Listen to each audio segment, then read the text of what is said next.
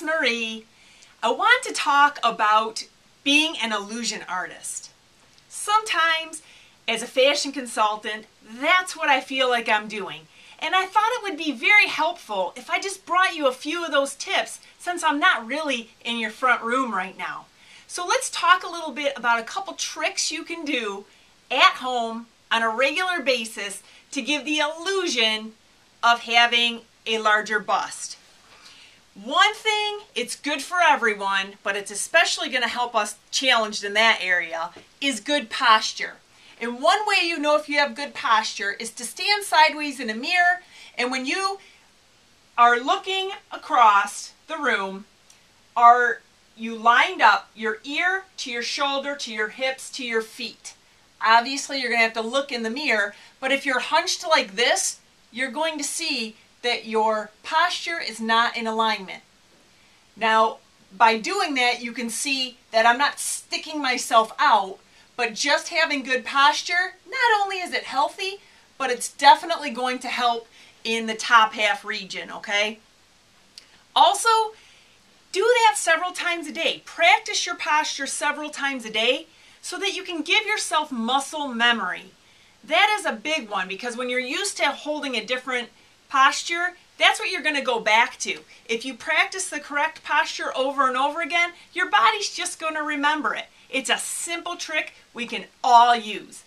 Another great way um, to create the illusion of a larger bust is to build up your upper pectoral muscles.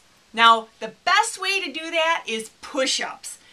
But we all dislike push-ups, right? I mean, if we have to, fine. But getting down on the ground and really that old-fashioned middle school gym teacher workout, I have news for you.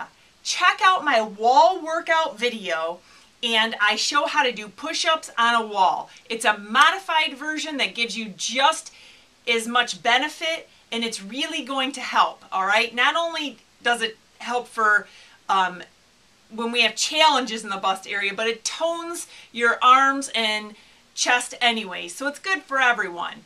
But by doing push-ups uh, several times a week, you can really help to lift and firm, creating the illusion of larger bust, okay? Another thing, again, I hate to have to say it, but we're going to have to do some ab workout, okay? We're going to have to do it.